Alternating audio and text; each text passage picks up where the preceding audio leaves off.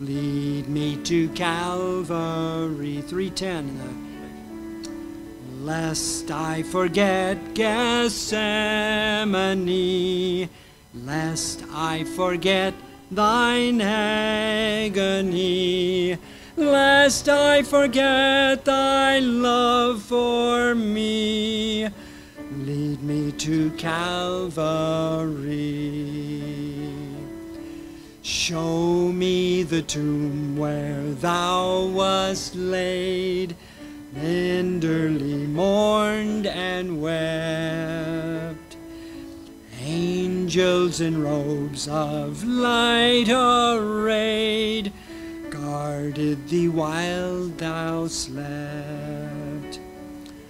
Lest I forget Gethsemane, lest I forget thine agony, lest I forget thy love for me.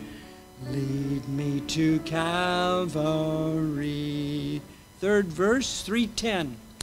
Let me, like Mary, through the gloom, come with a gift to thee.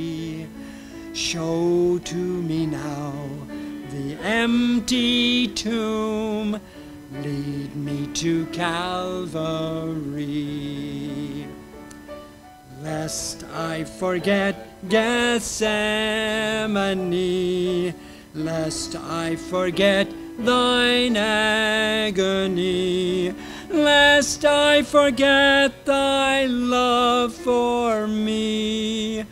Lead to Calvary. Last verse. May I be willing, Lord, to bear daily my cross for thee, even thy cup of grief to share. Thou hast borne all for me. Lest I forget Gethsemane, lest I forget thine agony, lest I forget thy love for me. Lead me to Calvary.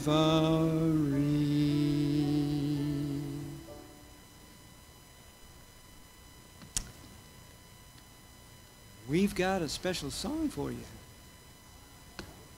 Psalm 19. I think it's 19. Isn't it 19? Verses 1, 2, or 2 and 3, something like that. Somewhere up there.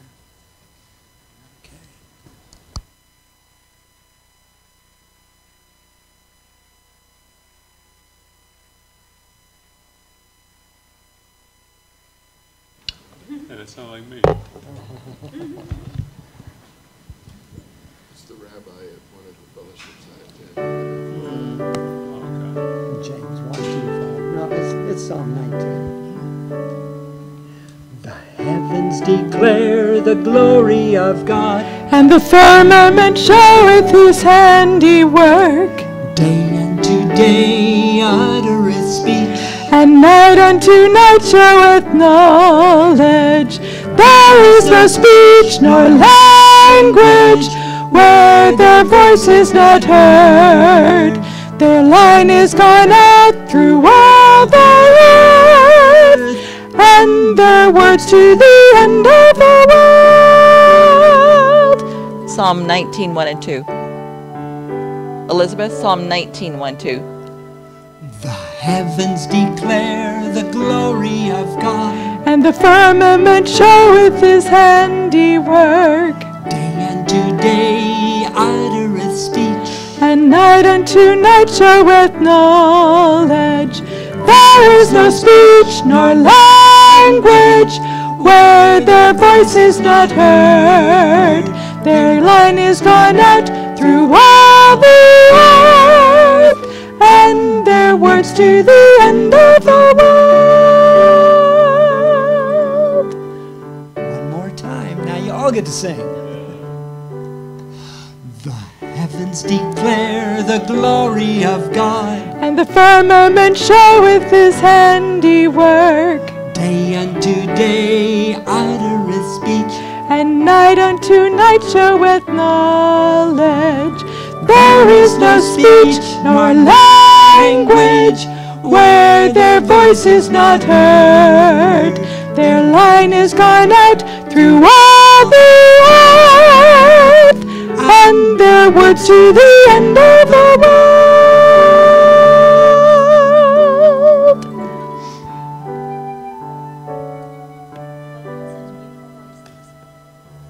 It's a blessing. Amen, we're blessed. One plus one equals maybe a hundred. Each of us individually, you know, we're okay, but together, it multiplies it. No, Right. I heard you solo, both of you. You were good. Okay, our theme song, Micah 4, verse 2.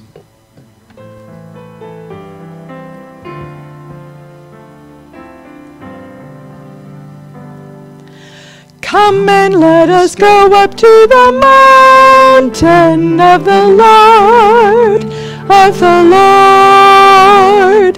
Come and let us go up to the house of the God of Jacob, and he will teach us his ways, and we will walk in his paths. For the law shall go forth out of Zion, and the word of the Lord from Jerusalem. Come and let us go up to the mountain of the Lord, of the Lord. Come and let us go up to the house of the God of Jacob,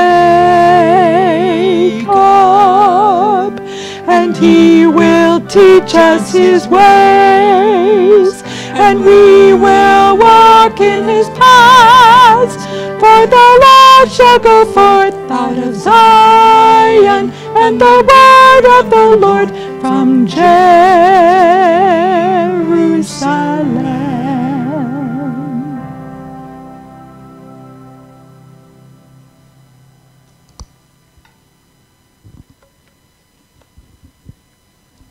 Okay, turn that back on. Ready for the sanctuary part two. We've been speculating on what this is going to be all day. Looking forward to hearing all the extra details we're going to get now. Let's pray as we begin this evening. Father, we thank you so much for your blessings this day. What a beautiful day we had out at Gibbs Gardens. It was just spectacular. The lighting was perfect for all those beautiful pictures we got. Thank you so much for the beauty and the enjoyable experience. We now ask for your blessing, uh, safety for Abraham getting here. We're thankful for that too. And we ask your blessing on the meeting. Um, be with Brother Henni.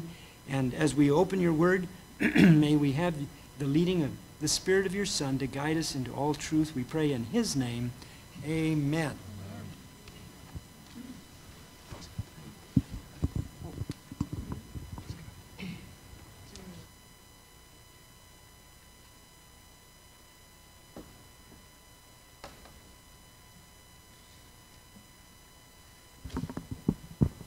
Thank you, Gary. Good evening. Welcome here, Abraham. We're glad you can be with us uh, tonight. And all those um, online, we welcome you um, as well. It's a long study again, so we're not going to waste any time uh, getting into it. We're going to um, start right away. Last night we were laying the foundation for the things we are going to be talking about tonight. I want to st- start tonight study by looking at the furniture of the holy place. I don't know if you notice I made one little change here tonight because it's going to emphasize something that I'm going to talk about. This was open last night. I had a veil out of the way, but tonight I've put it there for a reason, and you will see why. So let's look at the uh, altar of incense. The altar of incense is over there. It was also made of acacia wood. It was 1.5 feet long, 1.5 feet wide and 3 feet high. It, had al- it also had four horns, so a horn on each corner. It was covered with gold, and it had a crown of gold around the top. It also had two rings um, for each stave to go through, um, where they um, put the staves in to be able to carry the, the altar. The altar of incense was placed on the western side just before the veil that was by the ark of the testimony, before the mercy seat that is over the testimony. Exodus uh, 30, verse 6. Every morning, when the lamps were dressed, incense were burnt on it. Every evening, when the lamps were, were lit, the priest burnt incense upon it again. The holy fire on it was lit by God Himself and was never to go out. Our prayers should ascend to God in the morning and in the evening, and we should always live in an attitude of prayer and supplication. Our lives should be sweet incense to our family, our, our neighbors and friends, always pointing them to the merits, the saving merits of our Savior. Nothing else was supposed to be burnt on this altar. No strange incense, no burnt sacrifices, no meat offerings, and no drink offerings was to be poured out on it. The altar of incense is the place in the sanctuary where all the confessed sins was transferred to via the blood of the sacrifice on a daily basis. And that is where the sin stayed until the day of atonement when it was removed from the altar of incense. We can read this in Patriarchs and Prophets 348, uh, chapter 1, or paragraph 1. In a type, the sin stayed there until it was ritually removed from the sanctuary on the Day of Atonement and placed on a scapegoat to be removed forever from the camp of Israel. In the antitype, we read in early writings 279.2 and 280.2 Then I saw Jesus, who had been ministering before the ark containing the Ten Commandments, throw down the censer. He raised his hands and with a loud voice said, it is done. Every case was decided, every jewel numbered. And this is the interesting part. Jesus tarried for a moment in an outer apartment or the holy place of the heavenly sanctuary, and the sins which had been confessed while he was in the most holy place were placed upon Satan, the originator of sin, who must suffer their punishment. Once a year, an atonement was to be made upon the horns of the altar with the blood of the sin offering. Leviticus 16, 18 to 21. the word atonement means at one moment, or then also the removal or the cleansing of sin. For eight centuries, this work of ministration continued in the first apartment of the sanctuary. The blood of Christ pleaded in behalf of penitent believers, secured their pardon and acceptance with the Father. Yet their sins remained upon the books of record. And that is from GC 421, um, paragraph 2. So the sins remained at the altar of incense, but it was recorded on the books of record in the most holy place. Before we look at a table of showbread, I want to bring something under your attention that has puzzled Adventists for a very long time.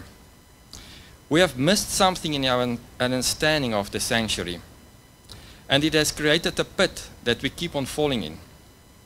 To such an extent that it has caused some, caused some in our ranks to denounce the teaching of the sanctuary message and even left the faith. It has been a major problem for the opponents of our faith there's a seeming contradiction, and we keep on falling in that pit. What is this contradiction? So, as good Adventists, we say that the throne of God is represented by the Ark of the Testimony, or also called the Ark of the Covenant. And we say that that is where we find the Father on his throne. And we also say that he's always been there. We go on to say that Jesus went into the most holy place on October um, 22, 1844, right? Okay? So here's where the dilemma is. If Jesus only went into the most holy place on October 22, 1844, why does the Bible say in Hebrews 10:12 and a lot of other passages that Jesus, after he had offered one sacrifice for sin forever, sat down on the right hand of God? See the contradiction? Because we know that that's not where Jesus was. He only went in in 1844. So how could he have went in and sat on the right hand of God? So there's this big contradiction that we've been missing all the time, and it's been plaguing people all along in their minds.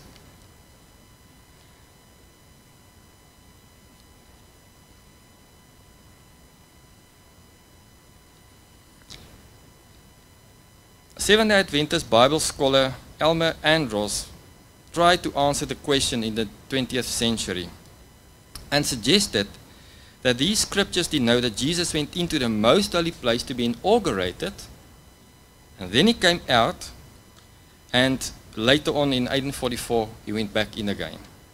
And it seems reasonable until you start to study the sanctuary. So I beg to differ. And here's the reason why. And I believe when you look at it through the right lens, everything makes sense and the whole matter gets sorted out. The Father and Son have a throne in the holy place and in the most holy place. There's not just one throne, there's two thrones. The throne in the holy place is represented by the table of showbread. And the throne in the most holy place is represented by the Ark of the Testimony. I want us, those who want to follow, to turn with me in, in on your phones um, to early writing. So it's EW 55.2, and we're going to read to 56.1. And the heading is the end of the 2,300 days.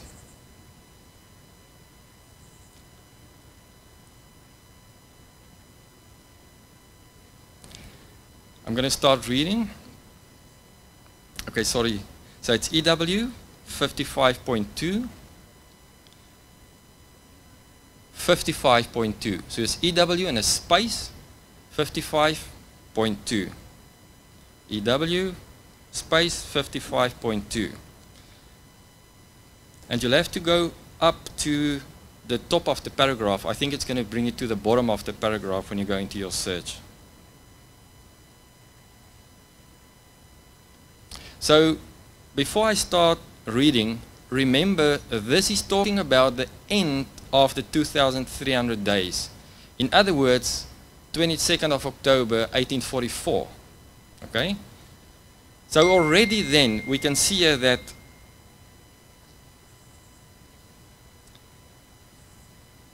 I saw a throne, and on it sat the Father and the Son. So, this was before they went into the most holy place. They were already sitting on a throne here. I gazed on Jesus' countenance and admired his lovely person. The Father's person I could not behold, for a cloud of glorious light covered him. So we see two persons here. I asked Jesus if his Father had a form like himself. He said he had, but I could not behold it. For, said he, if you should once behold the glory of his person, he would cease to exist. Before the throne, I saw the Advent people. And then know, she's explaining who the Advent people is. It's the church and the world. So we have two groups here. I saw two companies. One bowed down before the throne, deeply interested, while the other stood uninterested and careless. Those who were bowed before the throne would offer, offer up their prayers and look to Jesus and he would look to his father and appear to be pleading with him. A light would come from the Father to the Son, and from the Son to the praying company. Do you see any other being in between here? Or does it come from the Father to the Son to the company, and then back again? I only see two. Then I saw an exceeding bright light come from the Father to the Son, and from the Son it waved over the people before the throne. But few would receive this great light. Many came out from under it and immediately resisted it. Others were careless and did not cherish the light, and it moved off from them. Some cherished it and went and bowed down with the little praying company. This company all received the light and rejoiced in it, and their countenances shone with its glory. This is the important part. I saw the Father rise from the throne and in a flaming chariot go into the Holy of Holies within the veil and sit down. Does it sound to you like you went from one throne to another throne? Because it's saying here, I saw the Father rise from his throne. And then he went and he sat down, we know, in the Holy of Holies. Then Jesus rose up from the throne. And the most of those who were bowed down arose with him. I did not see one ray of light pass from Jesus to the careless multitude after he arose, and they were left in perfect darkness. Those who arose with when Jesus did kept their eyes fixed on him as he left the throne and led him out a little way. Remember this a little way. We're going to come back to it a little bit later. Then he raised his right arm, and we heard his lovely voice saying, Wait here, I am going to my Father to receive the kingdom. This is also interesting. Remember this I'm going to receive the kingdom. Keep your garments spotless, and in a little while I will return from the wedding and receive you to myself. Remember, Ben, we spoke about this this morning. Then a cloudy chariot with wheels like flaming fire, surrounded by angels, came to where Jesus was. He stepped into the chariot and was borne to the holiest where the Father sat. There I beheld Jesus, a great high priest, standing before the Father. So here Jesus is standing before the Father. So the Father is here sitting on the throne, and Jesus is standing before the Father. They're not both sitting on the throne, the throne now. So when they were sitting on the throne, both of them, it was in the holy place. So that's what we read in Hebrews, what Paul was talking about. On the hem of his garment was a bell and a pomegranate. A bell and a pomegranate. Those who rose up with Jesus would send up their faith to him in the holiest and pray, My Father, give us thy spirit. This is interesting part. Take note. Then Jesus would breathe upon them the Holy Ghost. In the breath was light, power, and much love, joy, and peace.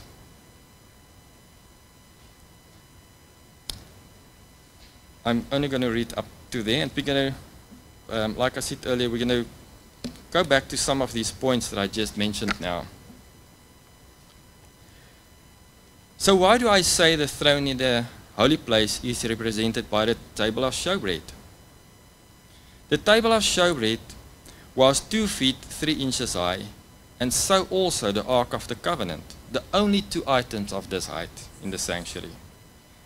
They both have crowns around the top. In John 6 48 to 50, Jesus said, I am the bread of life. In other words, He is the channel. The Father is the source of life. 1 Corinthians 8 6. The Father and the Son share the throne. And there's a lot of references. I've got, I'm just going to give a few. Revelation 22 1 and 3, Revelation 7 10 and 17, Revelation 5 13, and so on and so forth. There's a lot of references. Could it be that the two stacks of bread represents God the Father and the Son on their throne in the north, the creators, the life givers, the bread of life? The Revised Standard Version and the World English Bible and also the NIV and the Young's Literal Translation has the word showbread correctly translated as bread of the presence, meaning that it repre represents the presence of God the Father and the Son. As we see in Exodus 25 30, that's the reference where we find um, the, the showbread uh, portion. So the table of showbread was the throne of divine presence in the holy place.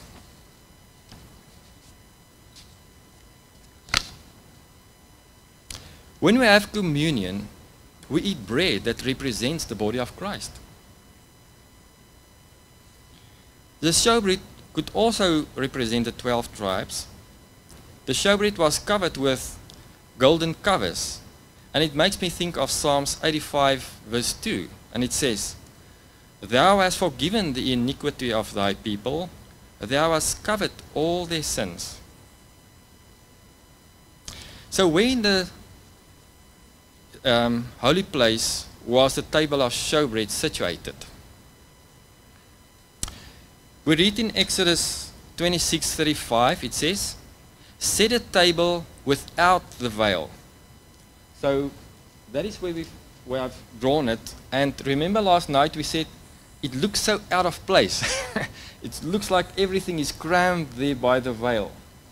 So I'm going to give you a few reasons why I I've placed it there, and then you can um, see if you agree with me that it should be somewhere in that vicinity. So Exodus 26:35 says, "Set a table without the veil." In Afrikaans it says, "Sit die tafel buitekant die voorhangsel." In other words, just outside of the veil. It does not say put it halfway down the way to the entrance of the holy place or in the middle of the holy place, but without the veil. So it must have been close to the veil. We also read, like we've read now in early writings 55:1, that when Jesus rose from his throne to go into the most holy place, he went a little way. He didn't go a long way, he went a little way. So it was just outside the veil. The table of showbread was placed on the northern side of the holy place. So there we've got the north, east, south, west. So it was placed on the northern side. In Isaiah 14, 13 and 14, we read, and it tells us about something that Satan said. Satan said, I will exalt my throne above the stars of God. I will sit also upon a mount of congregation in the sides of the north. I will be like the Most High. He wanted to be like God and rule. The Father rules the universe from the sides of the north. It does not say on the northern side, but it says on the sides of the north. In Afrikaans it says in die uithoeke van die noorde. And that is very descriptive. In other words, it is saying towards the corners of the north or the corner of the north. So it's even more descriptive. It even is giving us more indication that it's got to be there somewhere where the corners or the corner is. Um, and references to this is Exodus 40, 22, Psalms 48, 1 and 3, and then early writings 54 and 55, and also Ezekiel 1 verse 4. We get the same idea in Ezekiel 28, 13 to 19. Verse 14 and 16 says, And thou hast sinned, therefore I will cast thee as profane out of the mount of God. And this mount we know is in the north, as we have just seen in Isaiah 14, 13 and 14. Psalms 48, 1 to 3 reads as follows Great is the Lord and greatly to be praised in the city of our God, in the mountain of his holiness. Beautiful for situation, the joy of the whole earth is Mount Zion, on the sides of the north, the city of the great king. God is known in the palaces for a refuge. So God's throne is in the sides of the north on the holy mountain, and he was there when Satan sinned and was cast out. So it brings me to the question if that is where God's throne has been when Satan's, Satan wanted to be like God and started sinning, since when has it been there?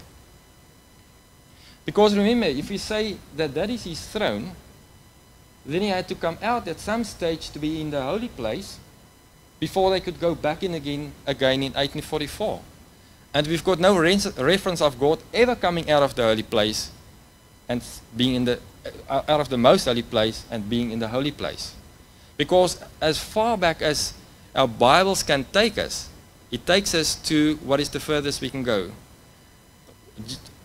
Almost just about when Satan wanted to be like God. Just further than that is when Jesus was brought forth out of his Father. And next is what we know is when Satan wanted to be like God. So as far as we can go back in the Bible, God's throne has been in the sides of the north. So it seems reasonable to me to then conclude that he's been there forever.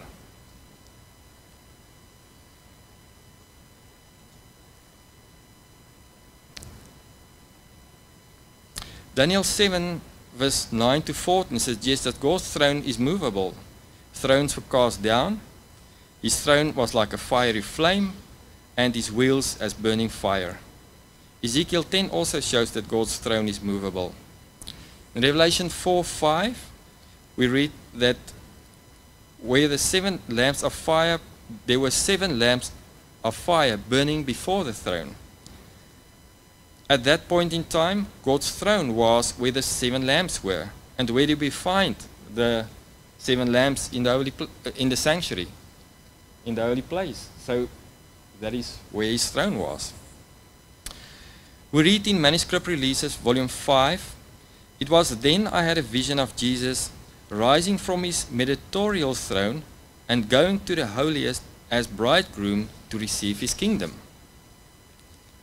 So, therefore, I believe that the table of showbread was just on the other side of the veil of the most holy, near the corner of the north. Also, the furniture of the sanctuary is laid out in such a way that it forms a cross. So if the table of showbread and the candlestick is in the center of the room, it does not form a cross. In other words, if I take this item and I put it here, and I take that item and I put it here, how does it form a cross?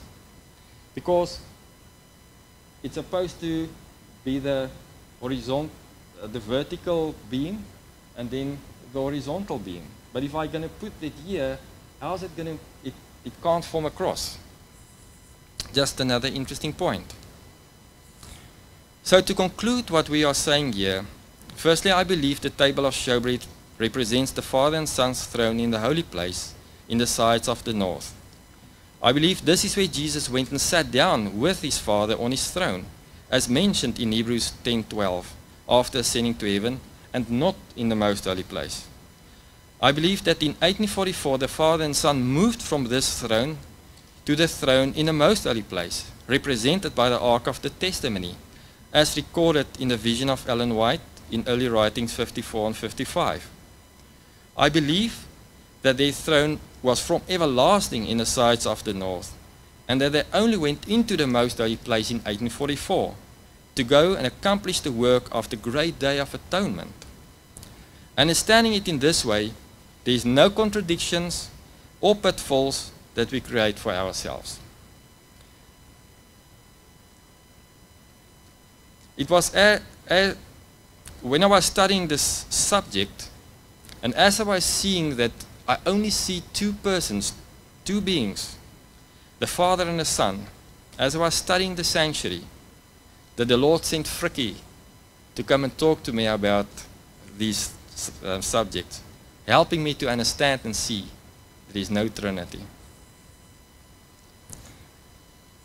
And Jeff, now we are coming to your favorite part, the candlestick. And we've got a, a nice re- representation of the candlestick here. I'm just going to maybe put it to the side that it's not behind me. The candlestick was made of pure gold, beaten out of one solid piece of gold. It was a seven lamp candlestick which had six arms coming from the shaft of the middle. So three on this side of the middle and then three on the other side. Its arms was made to look like almonds, knobs and flowers. It is referred to as His. This emphasizes that the candlesticks represent Christ. The Bible gives, does not give the size of it, only the weight of it. Because who can measure the light of God? The candlestick with its accessories weighed one talent. A royal talent was 150 pounds, and the common talent was 75, half of that. Now, we're not sure which one of the two it was. I couldn't find conclusive evidence for this or that. And the fact that it is something in the temple and a holy object, I want to, I want to think that it's 150 pounds. It was placed on the opposite side of the table of showbread on the southern wall. In Revelation uh, 4 verse 5 we read, like we quoted earlier, there were seven lamps of fire burning before the throne, which are the seven spirits of God. In Exodus 30 uh, verse 7 to 8, we see that oil was put into the lamps evening and morning. We know that it was olive oil that was used for the lamps. We get it in Exodus 27:20. Oil represents the Holy Spirit and the holy character.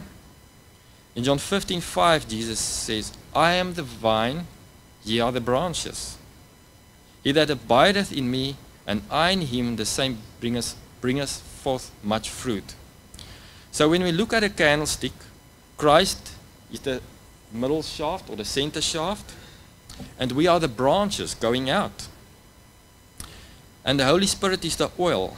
So if we put it all together, uh, then we are the light of the world. We see that lamps were filled morning and evening, so we are to be filled with the Holy Spirit morning and evening. We have to make that connection with, with Jesus every morning and every evening. Also throughout the day, but especially in the mornings and in the evenings. We know that the lamps were trimmed in the morning and evenings. In 1 Samuel 3 verse 3, it appears that some of the lamps' flames died at night. We're not sure which ones, probably some on the sides or maybe the six on the side. Once again, Afrikaans is very descriptive on this point. It says, toe die lam van God nog nie dood gegaan het nie en Samuel lê en slaap in die tempel. So I'm going to do a direct translation for that. It says, At that time, the lamp of God did not die yet, but Samuel was already asleep in the temple. Patriarchs and Prophets 38, um, 348, um, paragraph 1 says, The lamps were never all extinguished at one time, but shed their light by day and by night.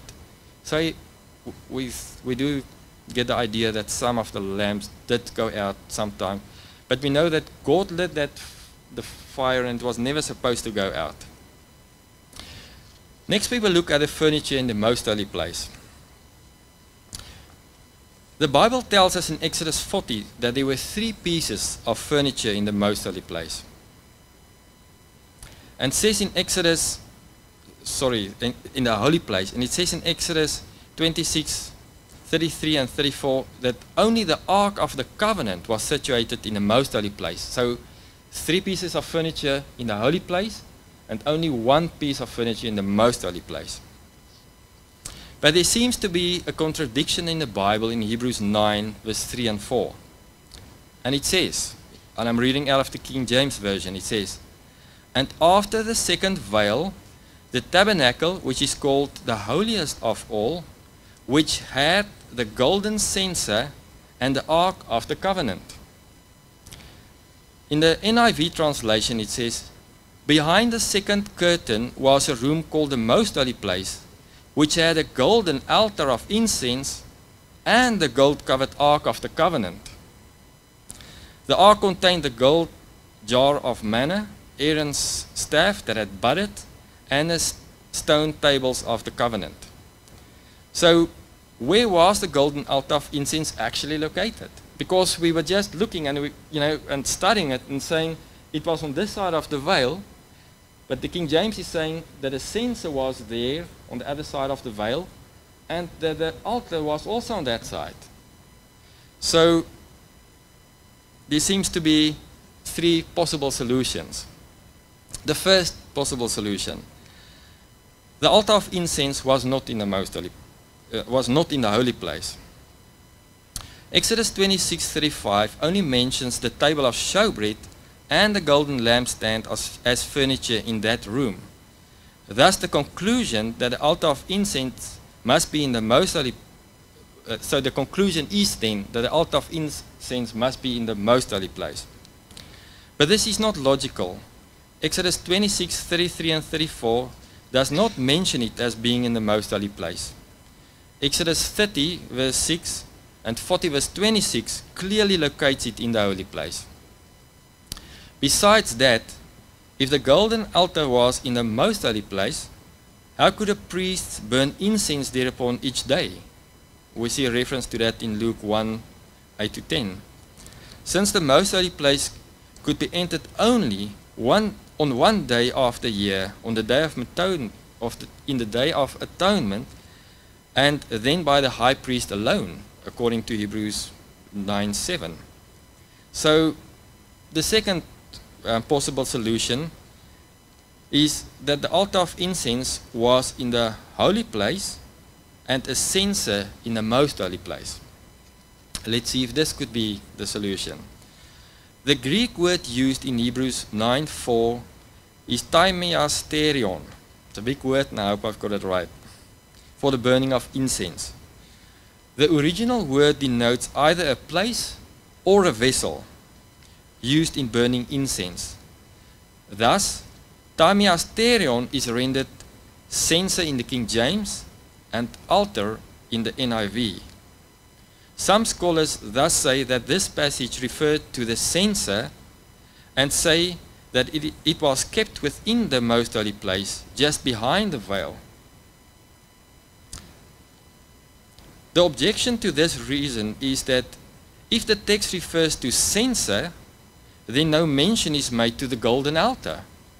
In other words, the lesser or the censer is mentioned and not the greater the altar. So that's not a solution. The third proposal is that the altar of incense belongs and or pertains to the most holy place. Firstly, it is important to note that this passage could not, should not say that the altar was within the most holy place. It should also not say, as at the end of verse 3, beginning verse 4, holiest of all, which had the golden censer. The words within, wherein, and which had should have been having, as the word ekosa is a present particle to a golden altar of incense. Thus the verses should have read, having a golden, golden altar of incense, as correctly translated in the Revised Standard Version. In other words, this altar, the altar of incense, belongs to or pertains to the most holy place. It should be associated with the most holy place regarding salvation, as the writer of Hebrews mentions in Hebrews 6 9. Exodus 30, verse 10 shows this ritualistic association between the Ark of the Covenant and the altar of incense. In, in that the high priest sprinkled blood upon both of them on the annual day of atonement. Also, on the day of atonement, the high priest carried live coals from the golden altar along with the incense into the most holy place. Leviticus 16:12 is the reference for that. Thus, on that day, once a year, the fire pan or the censer in which the coals were transported became an extension of the altar.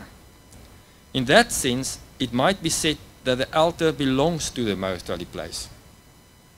So, in a re- religious sense, the altar of incense actually was said to stand before the Lord, Leviticus 16:12, and before the ark of the testimony, Exodus 40 verse 5. In fact, the author of the King James Bible states in 1 Kings 6:22 that the altar of gold belonged to the oracle or the inner sanctuary or the most holy place. So in its nature it pertained to the most holy place.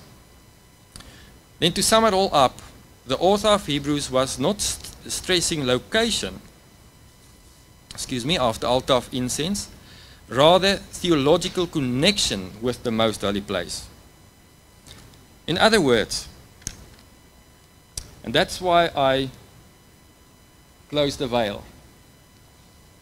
As the holy place has got an altar that is situated on the outside, but it belongs to this because it was used on a daily basis. This altar pertains and belongs to the holy place. It's also on the outside of the holy place. For the same reasons and in the same way, this altar belongs there because it was used for the ritual um, of the Day of Atonement there. But it was also on the outside of the most holy place. And it, but it pertained to the most holy place. So it's placed outside, but pertains to, placed outside, but pertains to. Our final piece of furniture in the sanctuary is the Ark of the Covenant, and we find um, the information of it in Exodus 25 10 to 22. The ark was made of acacia wood. It was two and a half cubits long, one and a half cubits wide, and one and a half cubits high. The ark was covered with gold inside and outside. When the children of Israel journeyed from one place to another, the ark was carried on the shoulders of the Levites. Num- Numbers 7, verse 9. At such time, the ark was covered with the veil that separated the most holy place from the holy place. Reference for that is Numbers 4, 5. So, what a, what a priest did, they took the veil, they unhooked it, and they covered the ark with it. And then they would carry it so that they didn't behold the glory of the Lord.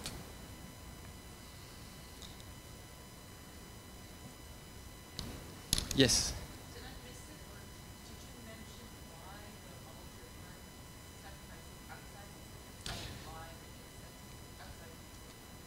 Yes. So, um, because in the in the in the type or in the um, the play that we beheld from day to day to understand um, what God is doing in the um, the sanctuary in heaven, God's glory could not be here. Otherwise, you know, as the as the priests went in, they would have they would have died. So um, that's why the veil was there. Um, but then the high priest would go and once a year on the Day of Atonement, from here take the coals into the censer and also the blood of the ram and then go into the most holy place. So it but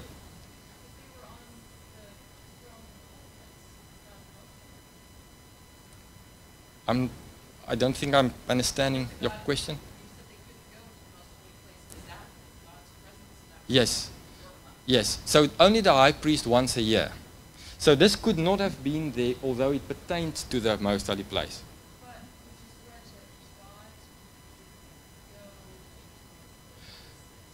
Yes, but yes, but but not but not in and there's there's um, different um, examples that I will use to show you that the the the type and anti-type can't always be the same.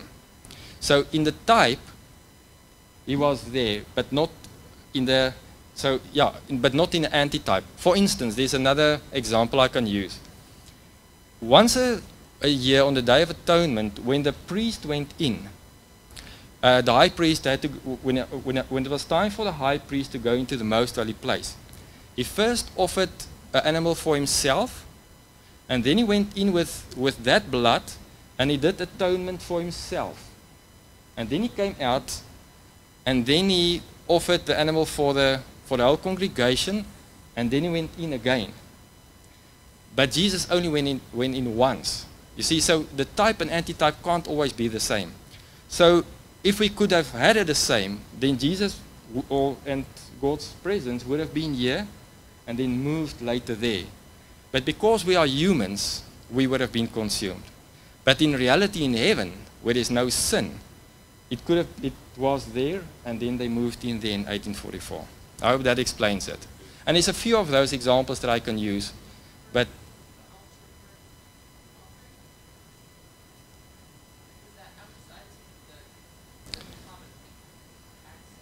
yeah, so the priest on a daily um, basis went into this altar.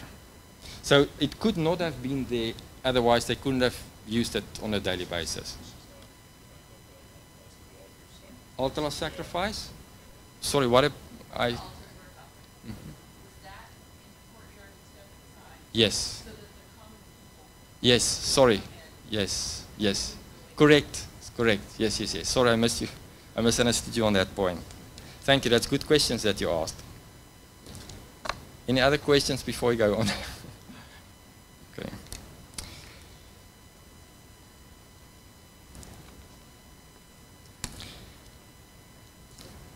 So we're talking about the, the Ark of the Covenant, and um, we find that there was nothing in the Ark save the two tables of stone.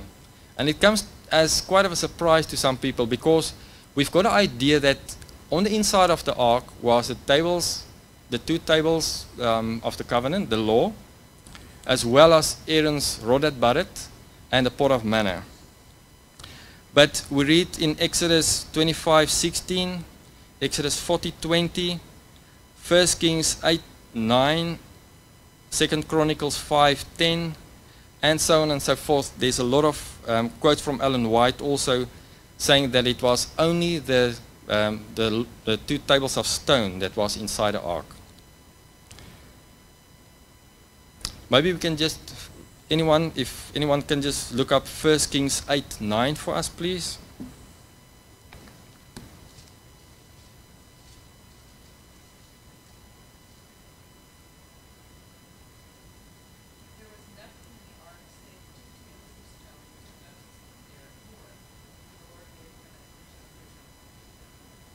Thank you. And that was in the time of Solomon's temple when this was said. So we know it wasn't in there, not before or even up to that point. We read in Exodus 16, 33 and 34 that a pot of manna was laid up before the Lord. It doesn't say it was in the ark. Aaron's rod that budded was laid up before the testimony or before the ark of the testimony. Number 17:10 um, is where we find that. And if we read the whole of Numbers um, 17 from 1 to 10, the whole section that, um, that talks about it, we will see that it was not inside the ark, but it was laid up before the testimony. The ark was also called the ark of the testimony. It was not called the ark of the testimony, manna, and the rod. We read in Patriarchs and Prophets 403 The rod of Aaron for the house of Levi was budded. It was shown to the people and afterward laid up in the tabernacle as a witness to succeeding generations. It does not say it was laid up inside the ark. But again, in Hebrews 9 3 and 4, we read the following of the tabernacle in the wilderness. And it says there, And after the second veil, the tabernacle, which is called the holiest of all, wherein was the golden pot that had manna, and Aaron's rod that budded, and the tables of the covenant.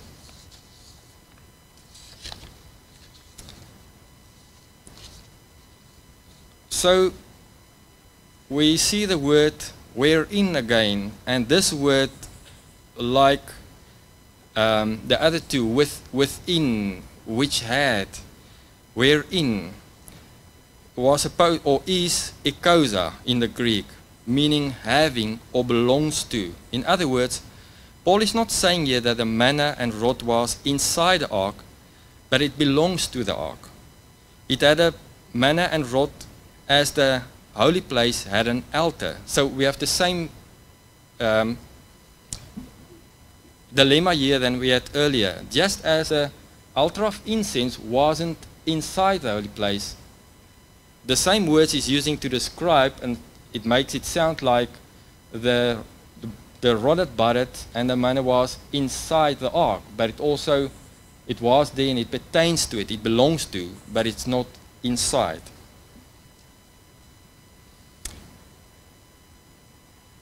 Just as a matter of, of interest, in 2 Maccabees 2, um, verse 1 to 8, it says that the ark was taken by the prophet Jeremiah and hid in a cave in the mountains before the Babylonian captivity, lest it should fall into the hands of the Gentiles. We also read, read in uh, Patriarch in Prophets and Kings 453, uh, paragraph 2, and this was in the time of Jeremiah just before the Babylonian captivity, that among the righteous still in Jerusalem, to whom had been made plain the divine purpose, were some who determined to place beyond the, the, the reach of ruthless hands the sacred ark containing the tables of stone, on which had been traced the precepts of the Decalogue. This they did. With mourning and sadness, they secreted the ark in a cave, where it was, was to be hidden from the people of Israel and Judah because of their sins, and was to be no more restored to them. That sacred ark is, hidden, is yet hidden. It has never been disturbed since it was secreted. Please note, she does not include a pot of manna or Aaron's rod that budded as being in the ark when she mentions this. Regarding Zerubbabel's temple, we read in PK 596 and 597 the second temple did not equal the first in, it, in magnificence, nor was it hallowed by those visible tokens of the divine presence which pertained to the first temple. There was no manifestation of supernatural power to mark its dedication. No cloud of glory was seen to fill the newly erected sanctuary. No fire from heaven descended to consume the sacrifice upon its altar. The Shekinah no longer abode between the cherubim in the most holy place. The ark, the mercy seat, and the tables of testimony were not found there. This then means that in the time of Jesus, there was no ark in the most holy place. The statement also makes it clear that there was nothing else in the ark, only the two tables of stone, the Ten Commandments. There was nothing else in there. But we read something interesting in early writings 32. Ellen White had a vision and was taken to heaven and was shown the temple which he entered. Quoting her now, she says, In the holiest I saw an ark in the ark was the golden pot of manna, Aaron's rod that budded, and the tables of stone which folded together like a book. According to this statement, there is an ark in heaven, the great original, with the pot of manna, Aaron's rod, and the table of stones in the ark in the most holy place in heaven currently. Remember that the ark that Moses made has never been disturbed since it was secreted, that we, as we just read in PK 453.2. Uh, so it seems to me that this ark and tables of stone is the, ori the original in heaven. But Aaron's rod and the pot of manna was taken from the earth to heaven and placed in the ark. If this idea seems strange to you, consider this thought we read the following in 3 SG 55.1, and it says, The pure and lovely Garden of Eden, from which our first parents were driven, remained until God purposed to destroy the earth by a flood. God had planted that garden and especially blessed it. And in his wonderful providence withdrew it from the earth and will return it to the earth again, more glorious adorned than before it was removed from the earth. So if he could take a whole garden and preserve that and take it to heaven, there's nothing for him to take the rod and the manna. I pray that the study had some um, thought-provoking points and that it will help you guys to go and study the sanctuary for yourself. There's many jewels in there, and it makes a wonderful study. So, dear brothers and sisters, it is especially during this time, the time we are living in, the great day of atonement, that the Lord is wanting to get our attention. He wants to bless us, and He wants to clean us from all our unrighteousness.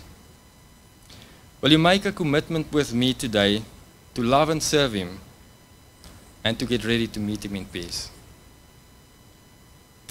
Let's pray.